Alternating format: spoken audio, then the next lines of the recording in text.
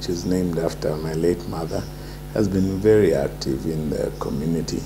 We've engaged in a number of projects, and we have uh, Punzila, which uh, helps, works with the schools, which uh, we had a, a, a, program for donating sanitary towels for high school girls.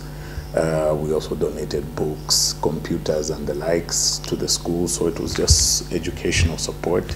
We also have Manzini Moyo, where we sunk four boreholes, uh, mainly in the Bauleni area because of the water challenges they were facing.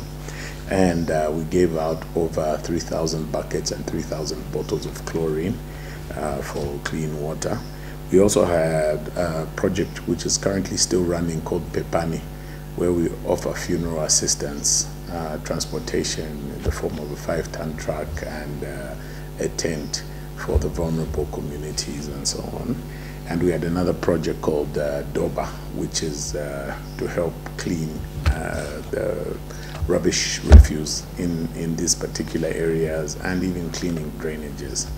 But for 2023, as the Mlewa Foundation, the Lucy Mlewa Memorial Foundation,